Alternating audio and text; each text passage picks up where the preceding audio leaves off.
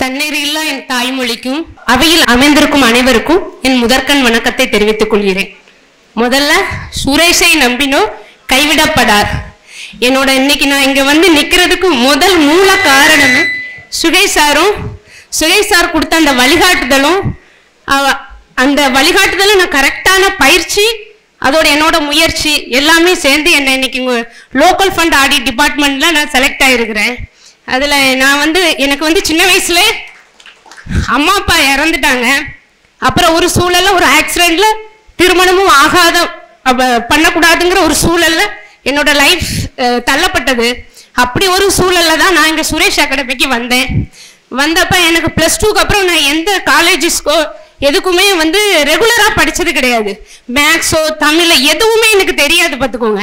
ஆனால் புத்தருக்கு எப்படி ஒரு போதி மரம் அமைஞ்சதோ அதே போல எனக்கு இங்க மேக்ஸ்ல கான்ஸ்டியூஷன் என்னன்னே தெரியாது. அத்தனையும் ஒவ்வொரு என் வாழ்க்கைய வந்து செதுக்கிற ஒரு இதமா இந்த சுரேஷ் கடமை இருந்தது. சுரேஷ் சாருக்கு நான் ரொம்ப நன்றி கடன் பட்டிருக்கேன். சுரே- சரவணன் சாருக்கு ரொம்ப நன்றி கடன் பட்டிருக்கேன். பிரிமரி பாஸ் பண்ணியாச்சு. மெயின்ஸுக்கு வந்து என்ன பண்ணுன்னு தெரியாம இருந்தப்ப தம்பி விஜய் அவர்கள் விஜய் என்னோட மிகப்பெரிய ஒரு வெற்றிக்கு இன்னைக்கு நான் லோக்கல் ஃபண்ட் ஆடிட் செலக்ட் ஆயிருக்கிறேன்னா தம்பி விஜய் தமிழரசன் இவங்க ரெண்டு பேருமே மிகப்பெரிய ஒரு காரணம். விடாமுயற்சி தான் விடாமுயற்சியை நீங்க பயிற்சியா எடுக்கிறப்ப உங்க வாழ்க்கையில விஸ்வரூப வெற்றி கிடைக்கும். அதுக்கு நான் உ- உதாரணம் மேக்ஸ்ல அல்ஜிப்ரா தெரியாது த்ரீ டினா என்னன்னு தெரியாது எதுவுமே தெரியாது. சுரேஷ் சார் கொடுத்த கொஷின்ஸ் தமிழ் கொஸ்டின்ஸா இருக்கட்டும் பிலிமினரி எக்ஸாம்ல நான் தமிழ்ல 98 எயிட் போட்டேன். அது சாரோட அவங்க வழிகாட்டுதல் தான் மேக்ஸ்ல எனக்கு ஒண்ணுமே தெரியாது. ஜீரோ ஜீரோனா எனக்கு இப்பவும் நீங்க ஒரு மேக்ஸ் கொடுத்தீங்கன்னா எனக்கு செய்ய தெரியாது. ஆனா சார் வழிகாட்டினாங்க. மனப்பாடம் பண்ணுங்க. உங்களுக்கு சார் சில கைடன்ஸ் கொடுப்பாங்க. அந்த சுண்டு விரல சாரோட சுண்டு விரல பிடிச்சுக்கோங்க. அவங்க வந்து நமக்கு கிடைச்ச ஒரு வரப்பிரசாதம்.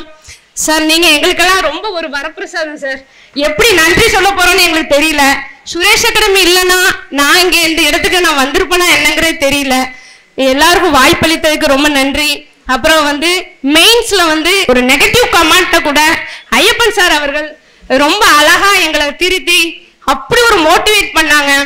அதுக்கும் நான் நன்- நன்றி சார் இது நன்றி தான். கடவுளுக்கு நன்றி. இந்த வாய்ப்பளித்த சுரேஷ் அகாடமிக்கு நன்றி. சரவணன் சார் அவர்களுக்கும் நன்றி. சுரேஷ் ஐஏஎஸ் அகாடமி வெற்றியின் முகவரி.